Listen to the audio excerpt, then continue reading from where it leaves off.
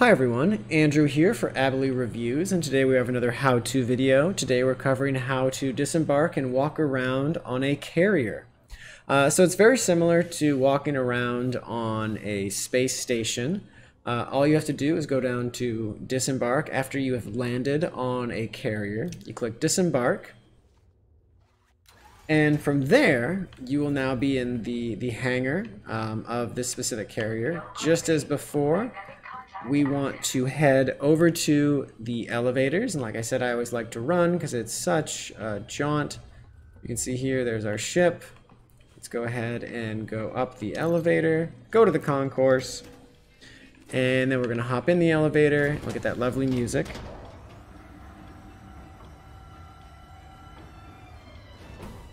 And then from there, we're gonna get to be able to walk around a carrier. And you can even see a little uh, display of the carrier we're currently on. Uh, pretty cool. They are quite large. Uh, they do come with their own security and crew. You can go into the command deck, and you can even see here, this particular one doesn't have a lot of other options, but it does have some spaces. So they've suspended their services, so that means most of the options that you could have on this ship have probably been disabled to save money. Uh, so they might have had a module over here, maybe uh, another section to the right. Then of course you have some people hanging out. There's a terminal here.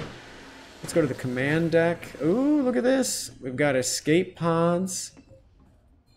And then of course, uh, one of these armed security guards. This should take us to the command deck, but we're not allowed. But where we can spend our time is in sort of the galley or the gallery. And it is quite a view. You can even see here, uh, we can see the ship, a good portion of the carrier, and, and some deep space. Uh, pretty cool in this area. There's the portions of the command deck. There is some other area in there that we don't have access to. But overall, you you can walk around almost every every single carrier, and then you can explore it and see which services they have to offer. And of course, you you can even sit down uh, so yep, here we are sitting down. All right.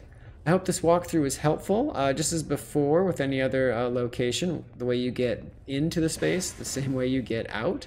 That's all you have to do is head back to the elevators. Right over here. Go take the elevator back down to the to the hangar. Get in the elevator. Wait for the doors to shut, of course. Hop in. And then you've got to run, right? That's the most important part. You do a mad sprint like a crazy person all the way back.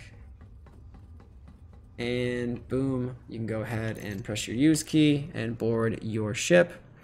And just like that, we're back in business.